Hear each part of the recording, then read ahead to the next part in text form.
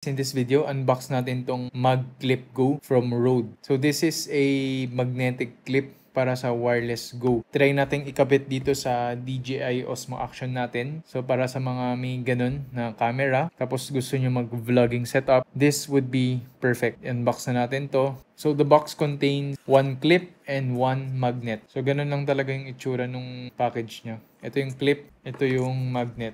So as you can see, clinip ko siya dito. So this would be your standard na clip. Tapos isasalpak niyo lang siya sa loob. Pwede niya siyang didikit na siya mag-isa. So very convenient siya.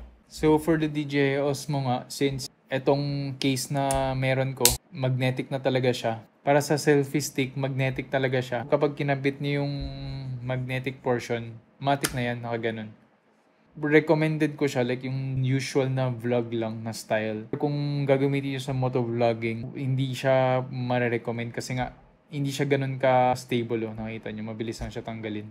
You're on the city, nagva-vlog ka lang, like naglalakad ka lang, nagva-vlog, kaya niya. Sa next part of the video, tatry nating i-connect ko na si DJI Osmo Action gagamitin ko si Boya BYK4 tapos gagamitin ko ng kable na TRS to Type-C uh, na kasama dito sa Wireless Go na Rode tapos tatry natin yung audio dun. Okay guys, so ang nangyari nga dito would be DJI Osmo Action tayo right now live. Tapos nakakonect nga si Boya BYK4 na mic adapter. Tapos merong TRS to TRS na cable. Tapos nakaka-connect na siya sa transmitter ng Rode. Ito yung narinig yung sound so this is coming from the Rode wireless go-to na. Hindi ko kasi dala yung selfie stick ko pero ganun ang mangyayari kung kinabitan ng selfie stick. Compatible naman siya. So perfect siya. Ganun ganong setup for vlogging. Yung wiring niya would be a little off lang, like ang pangit tingnan, pero hindi naman siya sagabal sa view natin.